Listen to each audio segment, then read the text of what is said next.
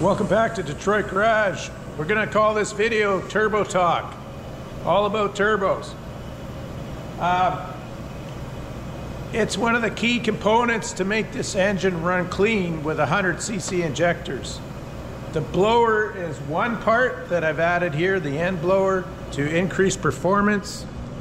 So with any luck, I should see response out of this tomorrow when I do the dyno. But the turbo that's on this engine it's a, a Garrett, well truly it's a Chinese Garrett, a copy of a T04B98. I put a 66 millimeter compressor wheel on it and it's got a 65 millimeter turbine. So 66, 65. Normally what you'd want is a 63, 65 turbine, uh, turbine larger than the compressor without the bypass. This is an open housing with no bypass. This compressor wheel I had on my shelf, so I just bored out this housing to fit it. Ah, maybe it'll work, maybe it won't. Well, it's actually starting to light now and it's running pretty nice.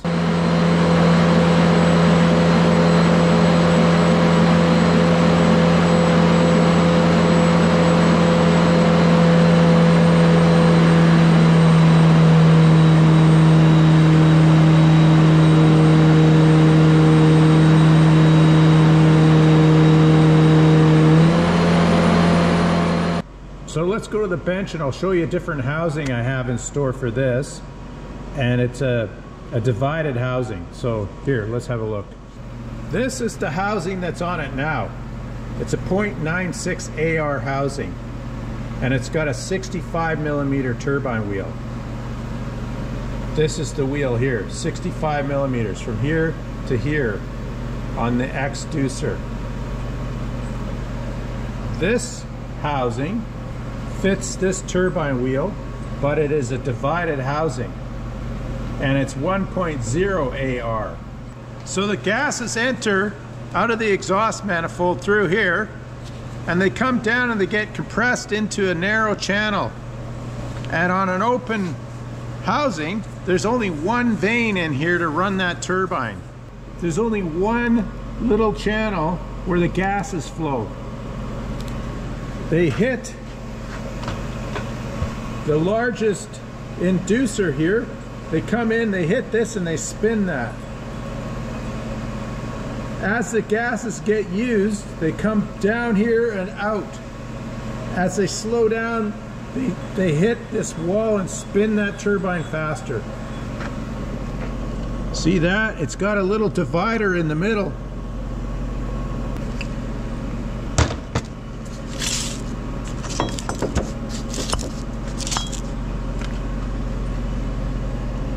So when the gases come out of the exhaust manifold, they get divided and they run down those two channels instead of running down the open housing.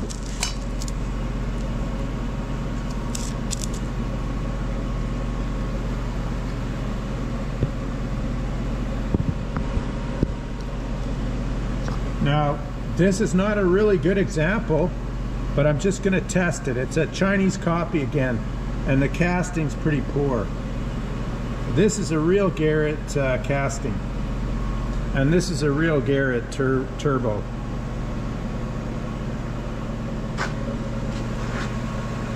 So the inducer on the turbine is this top part, and the exducer is. So normally you have a turbine that's larger than the compressor. So the compressor here is the inducer and this is the exducer. So when somebody says it's a 62, 65, they mean the inducer here is 62 and the exducer here is 65. So you'll see references to that all the time. What I'm trying to do now, because I'm outside the uh, parameters of this engine, I'm moving a lot more air through it. So I've got to find a turbo and match it to those injectors. And without throwing a lot of money at this, I basically have enough in my, you know, my stock that I can experiment. I'll get a very good idea of what turbo works and what doesn't. Now, buying turbos through eBay, if you don't buy OEM products, it's frustrating because you'll order a turbo that's 61, 65 and you end up with a 69, 63. I'll, I'll show you an example one. It's very frustrating. So I've got enough junk on my shelves I can build a turbo and test. So that turbo on the engine is 60, 66, 65. It's running this housing right now. What we're gonna do next after I do this dyno run here with the new blower is we're gonna put this housing on it. I wanna see if this accelerates any faster. Is it any cleaner? The argument is on a Detroit you need to run open housings. Why can't you run divided housings? I know all the four stroke guys do it and everybody swears by it. So I'm going to test for myself. Is it true? Is it not? So this body here is a Borg Warner K27. Uh, it's one of the newer designs I ran on my uh, Silver Series with a uh, compound setup. It's uh, 54 millimeters here and 55. It's very small, but it it's very responsive. Um, it has a bypass valve on it. Again, this is a divided housing. It's a T3. I got this turbo cheap, so I just cobbled it together to fit on a T4 manifold. But it works really well. Very small housing. Now you can't run this turbo on my engine without a bypass on it. So on the back of it, on the exhaust housing, is this flap. There's a little flap in here. When the turbo uh, reaches a certain boost, it opens this valve and bypasses the turbine section in the uh, in the housing and relieves the engine of back pressure. So I'm going to run this again on uh, on this engine. So I'll run this this one next, then the divided housing, then the K27, and the K27 is essentially a uh, HX35 replacement. I just want to see if going smaller is better. All right, so that's another turbo to test. And lastly, I'm flowing a lot of gas. And I'm thinking of running this one. It's a low pressure turbo off of a uh, 6.4 power stroke. And it's been sitting on my shelf for a long time. So this is 64 millimeters. That's 73. So 73.5, 63.6. This is a Borg Warner series made for uh, international for the Power Stroke. This is the low pressure turbo in like a compound system, but they called it sequential turbocharging. Anyway, I'm going to modify this to fit the Detroit and just try it. Then I'll get a really good idea. 73, 64. Maybe a bigger turbine is better. So I'm limited right now to 65. And without spending a whole bunch of money on turbos and then figuring out, well, wait a minute, they don't even work, I can do this in the shop and figure out myself. So here's the housing for the, the big turbo. It's an open turbo as well, open housing. And uh, fairly shallow on the uh, inducer here. So it should be interesting to see if I can light this one. But what I'm gonna do now is clean this housing up and weld on a T4 flange on here and uh, mount it up on the Detroit. And we'll try this one after a couple more turbos.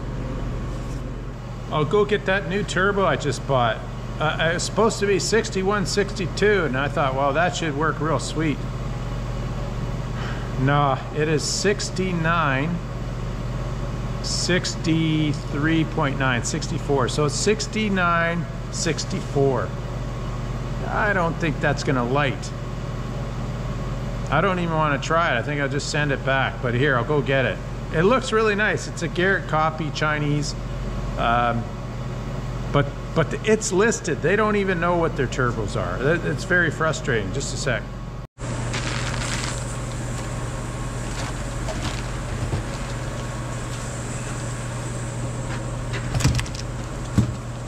All right, here's the unveiling of a, a turbo that doesn't even work for my application.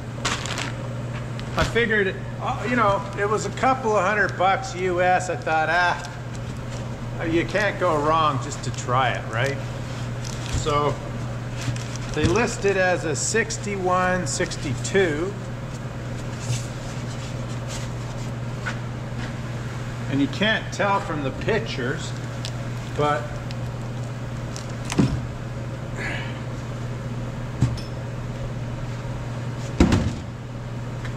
There it is.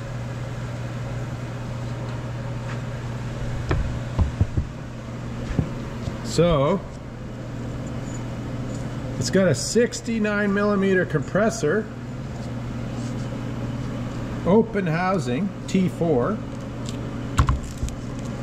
a three, I think that's a three inch or three and a half inch V-band. And then the wheel The wheel is 63.9 millimeters. Uh, I don't even know if that's worth trying. 69, 64. That's a way off ratio. I don't know if that'll work, but anyway, I'll have a think on it. Well, there you have it, guys. That's a quick turbo talk. Uh, a lot of you guys have been asking me about the turbos, so that, that's some of the turbo talk for you. Um, a friend is going to send me out a uh, Pulsar 3576, and uh, I can't remember what measurements that was. I think it was like a 5862. I didn't write it down. And then I'm looking at uh, Borg Warner SXE 360 series turbos, like a 362. That would be really nice. But until I finish this testing, I won't spend any money on new turbos. It's a waste of money because you don't know what you're going to get until uh, you see what you really need. Uh, I, I, just can't go and say, oh, I have a 453T and uh, I need a turbo.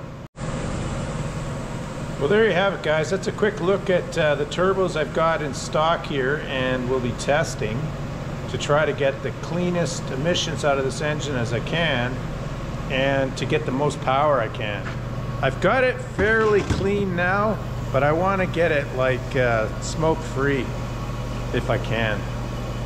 But uh, if you like more, you know, if you like this turbo stuff, let me know. I'll make more content. I've right now I'm going to sit here and weld up a turbo and do all this work to a turbo to test it.